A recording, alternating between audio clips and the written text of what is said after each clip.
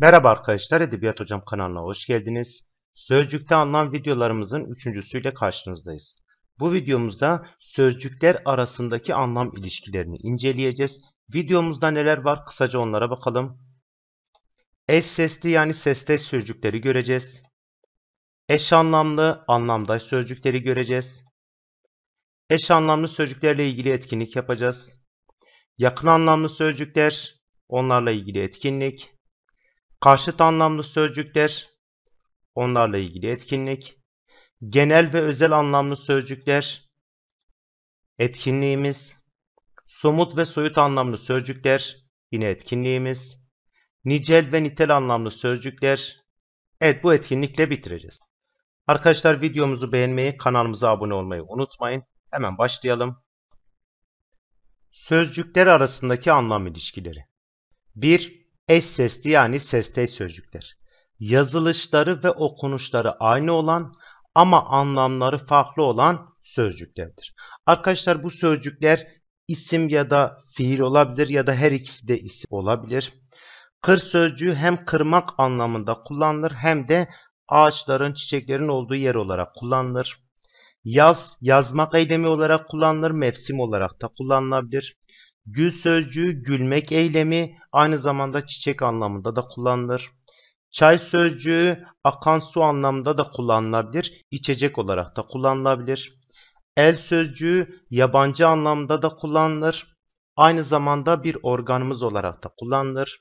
Şiş sözcüğü hem şişmek anlamında kullanılır hem de demir çubuk olarak kullanılır. Dolu sözcüğü boşun karşılığı olarak da kullanılabilir, bir yağış çeşidi olarak da kullanılabilir. Kara sözcüğü hem siyah anlamında kullanılabilir hem de toprak parçası olarak kullanılabilir. Düş, düşmek eylemi olarak kullanılabilir, aynı zamanda hayal anlamında kullanılabilir. Bağ sözcüğü aradaki ilişki anlamında da kullanılabilir, üzüm bağı olarak da kullanılabilir. Dal sözcüğü hem dalmak anlamında kullanılır hem de ağacın kolu anlamında kullanılır. İn hem inmek eylemi hem de mağara anlamında kullanılabilir. Yağ sözcüğü yağmak eylemi olarak da kullanılabilir. Aynı zamanda yemeklerde kullandığımız sıvı anlamında da kullanılabilir. Et sözcüğü etmek anlamında da kullanılabilir. Yiyecek olarak da kullanılabilir. Bin sözcüğü hem sayı anlamında hem de binmek eylemi olarak kullanılabilir. Geç sözcüğü geçmek anlamında kullanılabilir. Aynı zamanda zaman geç diyerek de kullanılabilir. Vakit geç. An sözcüğü anmak anlamında da kullanılabilir. Zaman anlamında da kullanılabilir. Sal sözcüğü salmak anlamında kullanılabilir. Aynı zamanda suda giden bir taşıt olarak da kullanılabilir.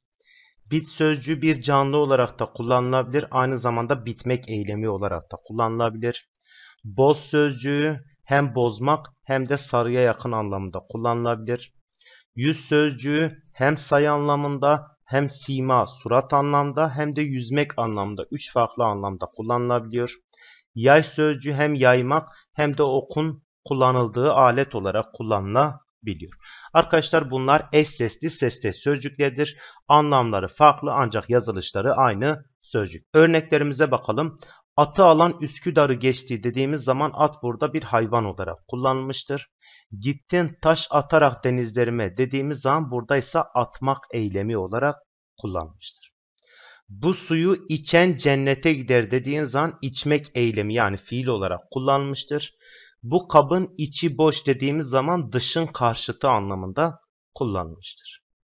Vardım yurduma bu sabah dediğimiz zaman varmak yani gitmek anlamında bir fiil olarak kullanılmıştır. Bu işin içinde bir bit yeniği var dediğimiz zaman yokun tersi anlamında kullanmıştır. Umarım anlaşılmıştır. Devam ediyoruz. 2. Eş anlamlı yani anlamdaş sözcükler. Yazılışları farklı, anlamları aynı olan sözcüklerdir. Arkadaşlar eş sesli de yazılışları aynı anlamları farklıydı. Eş anlamlıdaysa yazılışları farklı, anlamları aynı olan sözcüklerdir. Ya istiklal ya ölüm dediğimiz zaman istiklal hürriyet demektir arkadaşlar. Hürriyet yazılsaydı da olurdu. Kelimenin kökü sorulunca isim mi fiil mi olduğuna bakmalıyız dediğimiz zaman kelime yerine sözcük, isim yerine at, fiil yerine de eylem getirebiliyoruz. Onların eş anlamlarıdır. Bu örneğimize dikkat ediyoruz. Sağlığı, sıhhati bozuldu dediğimiz zaman ikisi de aynı anlamdadır. Sağlıkla sıhhat ikisinin beraber kullanılması anlatım bozukluğudur ki not olarak da verdik. Eş anlamlı sözcüklerin aynı cümlede kullanılması anlatım bozukluğuna neden olur. Yani gereksiz sözcük kullanımı olur. Yani bu cümlemiz yanlış bir cümledir. Evet. Uygulamamıza geçelim arkadaşlar.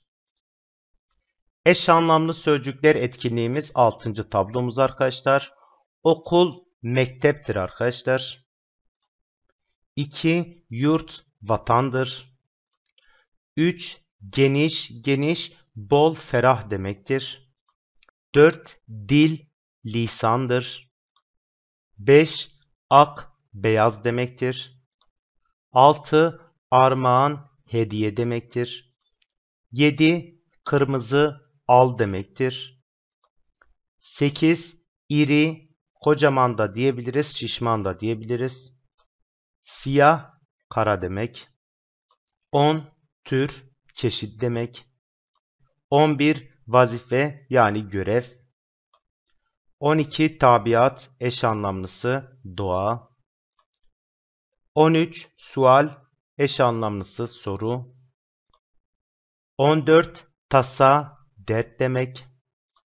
15. Yanıt, cevap olacak. 16. Irak, eş anlamlısı, uzaktır. 17. Hane, eş anlamlısı, evdir. 18. Yürek, eş anlamlısı, gönül ya da kalp olarak geçmektedir. 19. Tenkit, eş anlamlısı eleştiridir. 20. Cenk, eş anlamlısı savaştır. Evet arkadaşlar etkinliğimizi bitirdik. Devam ediyoruz. 3. Yakın anlamlı sözcükler. Yazılışı ve okunuşu farklı olan, anlamdaş gibi göründüğü halde birbirinin yerini tamamen tutmayan, aralarında az çok farklılık bulunan, yani aralarında anlam ayrıntısı bulunan kelimelerdir. Arkadaşlar yazılışı, okunuşu farklıdır. Anlamdaş gibi görünüyor ancak tamamen birbirinin yerini tutmuyorlar. Aralarında az çok bir ayrıntı vardır.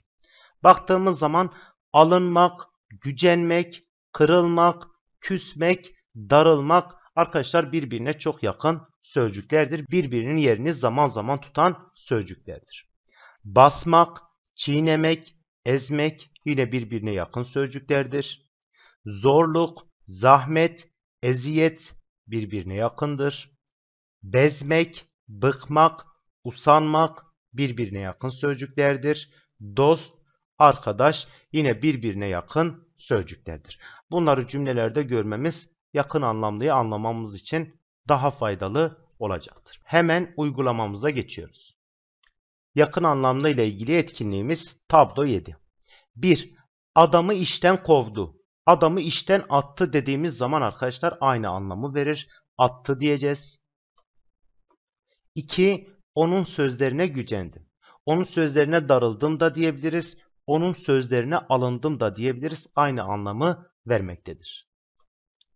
3. Elbiselerini etrafa saçmıştı. Yani elbiselerini dağıtmıştı. Elbiselerini etrafa dağıtmıştı da diyebiliriz. Aynı anlama gelir. 4. Polis kaçan hırsızı tuttu. Yakaladı diyebiliriz arkadaşlar. Yakın anlamlıdır. 5. Soru sormaktan korkmayınız. Yani çekinmeyiniz. 6. Gittiği yerlerde yeni arkadaşlıklar oluşturmuştu. Kurmuştu diyebiliriz. 7. Bu öğrenciye katlanacağız. Yapacak bir şey yok dediğimiz zaman dayanacağız, tahammül edeceğiz diyebiliriz. 8. Yaptığı işe özen göstermiyordu. Yani umursamıyordu. Yani gayret göstermiyordu anlamında kullanmış. 9. Davranışlarından işten olduğu anlaşılıyordu. İşten yerine samimi diyebiliriz.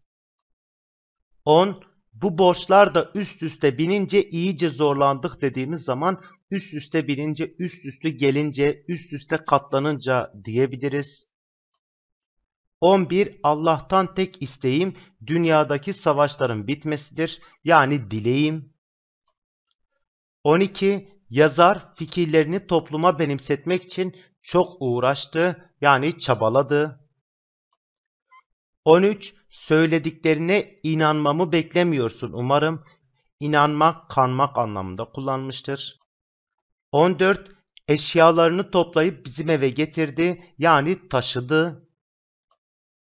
15 Şiir yazmaya çok hevesliydi bizim ufaklık yani istekliydi, azimliydi. Evet yakın anlamda ile ilgili etkinliğimizi bitirdik. Umarım anlaşılmıştır. Yani bu ifadeler farklı cümlelerde farklı anlamlarda kullanılabilir. Dikkat edin. Her kovdu yerine attı diyemeyiz. Yani her saçmıştı yerine de dağıtmıştı diyemeyiz. Cümlenin bağlamına yani sözcüklerin birbiriyle ilişkisine dikkat etmemiz gerekiyor. Devam ediyoruz. 4. Karşıt yani zıt anlamlı sözcükler. Anlamları birbirine ters düşen, birbirinin karşıtı olan sözcüklerdir. Örneklerimize bakalım. Bu iş ona kolay, bana güçtür dediğimiz zaman kolay ve güç karşıt anlamlı sözcüklerdir. Hep sen iyi ol, biz kötü kalalım dediğimiz zaman iyi ve kötü karşıt yani zıt anlamlıdır. Ağlarım hatıra geldikçe gülüşlerimiz dediğimiz zaman ağlamak, gülmek zıt anlamlı sözcüklerdir. Arkadaşlar daha iyi anlaşılabilmesi için uygulamamıza geçelim. Karşıt anlamlarla ilgili etkinliğimiz tablo 8. 1. Uzun, uzunun zıt anlamlısı kısadır. 2. Borç, borç sözcüğünün zıt anlamlısı alacaktır. 3. Şişman, şişman zıt anlamlısı zayıftır. 4. Soru, sorunun zıt anlamlısı cevaptır. 5. Aptal, aptalın zıt anlamlısı zekidir. 6. Ölü, ölünün zıt anlamlısı sağdır. 7. Aşağı, zıt anlamlısı yukarıdır. 8. Yüksek, yükseği zıt anlamlısı alçaktır. 9. Geri, gerinin zıt anlamlısı ileridir. 10. Ödül, zıt anlamlısı cezadır. 11. Sevinmek, zıt anlamlısı üzülmektir. Arkadaşlar şuna da dikkat etmemiz lazım. Sevinmenin zıt anlamlısı sevinmemek değildir. O onun olumsuzudur. Dikkat edelim.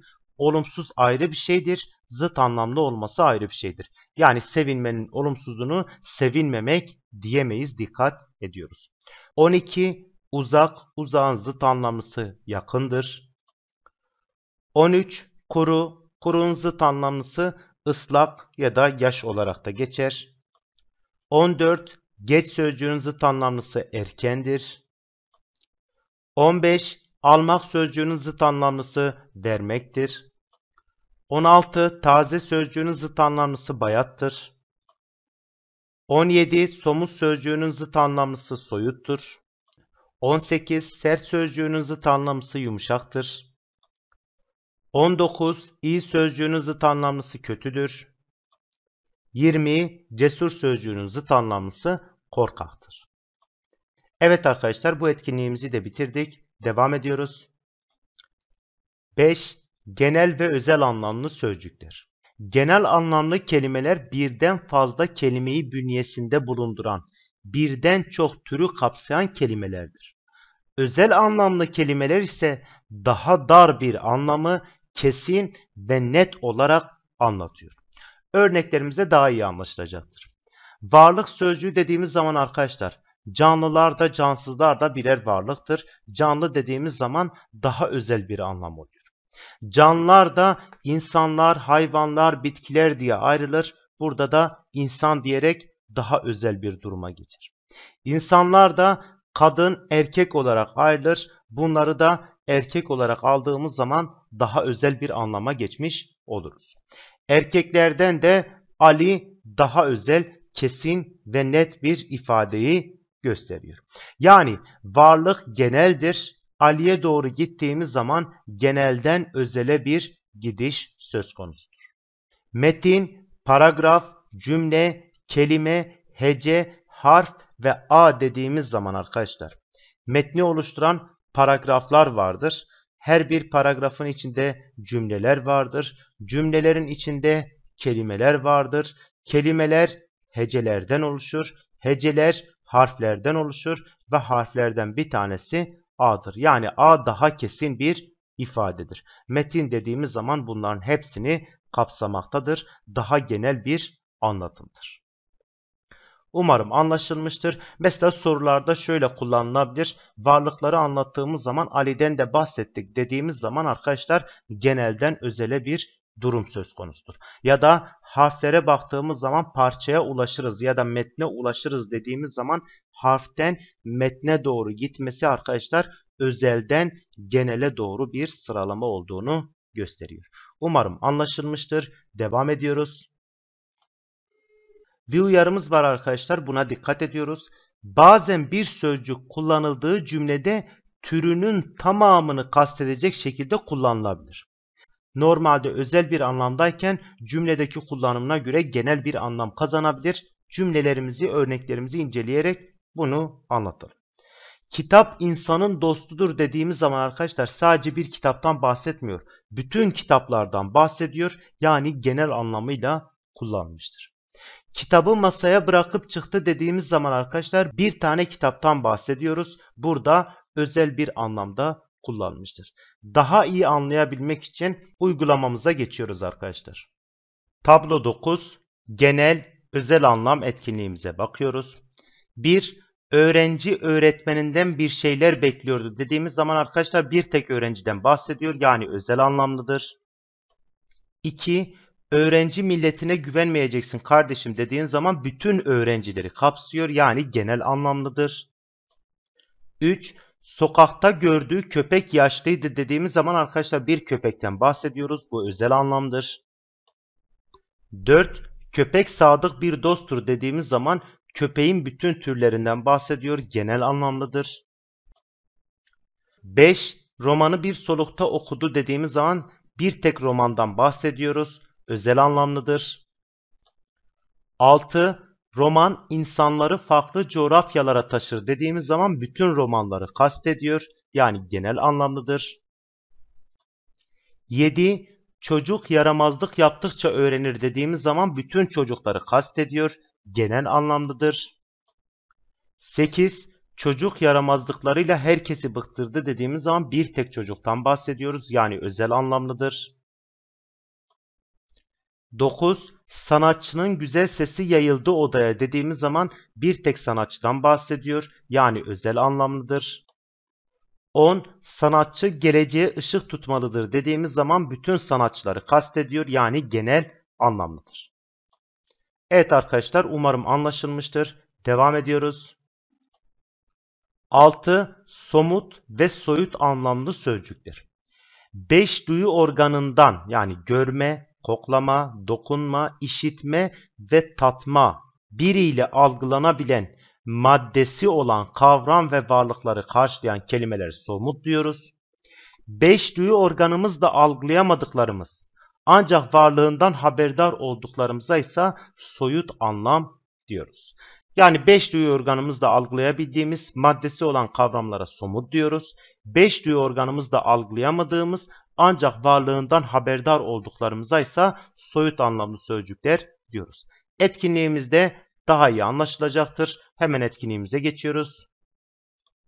1. Gölge sözcüğü görmeyle algılayabildiğimiz bir şeydir. Yani somuttur. 2. Hapşırık arkadaşlar işitmeyle algılayabildiğimiz bir şeydir. Yani somuttur. 3. Peri arkadaşlar herhangi bir duyu organımızla algılayamıyoruz. Yani soyuttur. 4. Mutluluk 5 duyu organımızla algılayamadığımız bir şeydir. Yani soyuttur. 5. Korku yine 5 duyu organımızla algılayamıyoruz. Soyuttur. 6. Koku sözcüğü kokuyu koklama duyusuyla alabiliyoruz. Yani somuttur. 7. Ses yine işitme organıyla algılayabiliyoruz. Somuttur. 8. Rüzgar dokunma duyusuyla algılayabiliyoruz. Somuttur. 9. Hayal hayali herhangi bir duyu organımızla algılayamıyoruz. Soyuttur. 10. Rüya herhangi bir duyu organımız da algılayamıyoruz. Soyuttur. 11 düşünce, düşünce soyuttur. 12 bilgi, bilgi soyuttur. 13 ışık, görme organımız da algılayabiliriz. Somuttur. 14 özgürlük, özgürlük soyut bir kavramdır.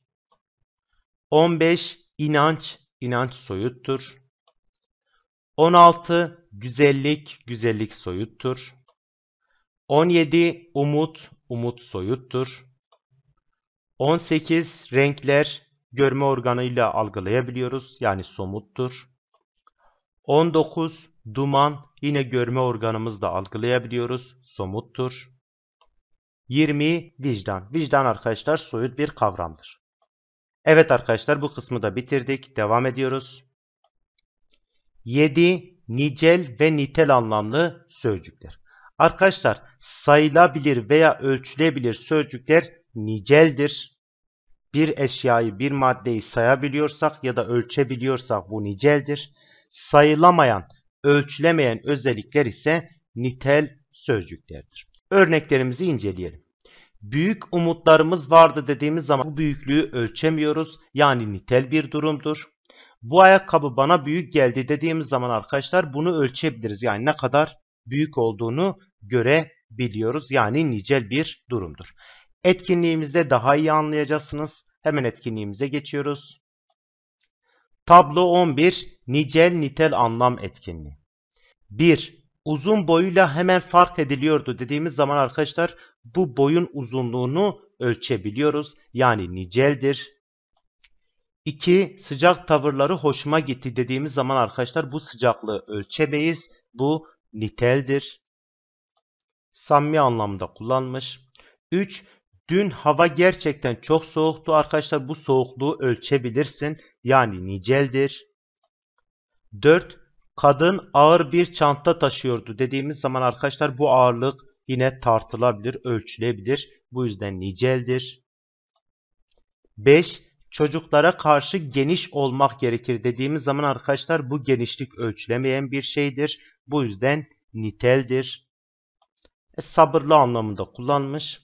6. Adam işinde yükselmek istiyordu dediğimiz zaman arkadaşlar gerçek anlamda bir yükselmek yok. Yani ölçülebilecek bir durum değildir. Yani niteldir. 7. Okuluna yakın bir yerde ev kiraladı dediğimiz zaman arkadaşlar bu yakınlık ölçülebilir bir şeydir. Bu yüzden niceldir. 8. Bu işi iyi biliyor belli dediğimiz zaman arkadaşlar bu iyi ölçülebilecek bir şey değildir. Niteldir. 9. Güzel günler göreceğiz çocuklar dediğimiz zaman bu güzellik ölçülebilecek ya da sayılabilecek bir şey değildir. Bu yüzden niteldir.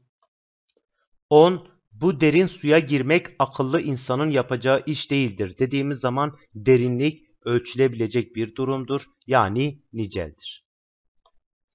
Evet arkadaşlar bu tablomuzu da bitirerek videomuzun sonuna geldik. Umarım faydalı olmuştur. Videolarımızın devamı gelecek. Kanalımıza abone olmayı, videomuzu beğenmeyi unutmayın. Ayrıca notları da açıklama kısmına ekleyeceğim. Oradan indirebilirsiniz. Kendinize iyi bakın. Sağlıkla kalın. Hoşçakalın.